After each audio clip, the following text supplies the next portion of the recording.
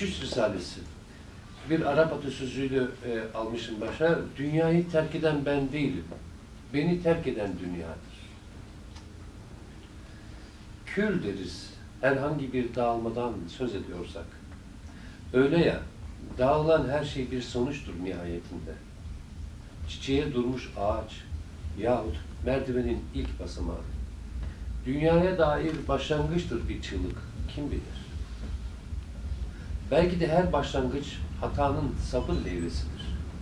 Öyle ya, çamurdur ilkin tohumu barındıran, nereden çıktı öylesi deriz bu meyve, kahreden bekleyiş, ateşin ilk tomurcuğu, dalından düşen ilk günah.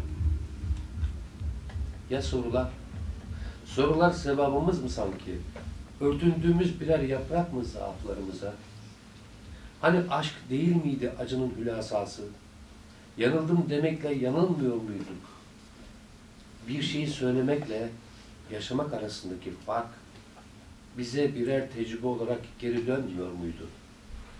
Ah kelimelerle ölmeyi bırakın, gülemiyorum bile.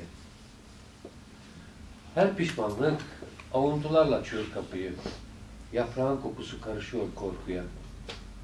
Daha katı olmak için dünyayla suyu kımıldatan küf bulanıyor mutlaka.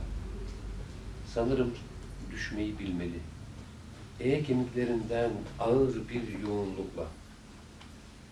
Hangi pencereden bakılsa bir başka çağa yeni bir ad bulmalı. Meğer her düşüş bir başka unutmaymış.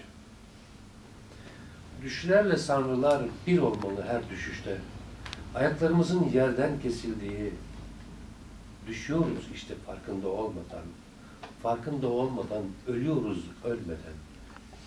Geceyi karanlığa devşiren umutsuzluk yahut acı bayraklarıyla donanmış gemilerde kaçak binen yolcular arasında dünyaya doğru bir adım daha atıyoruz. Evet.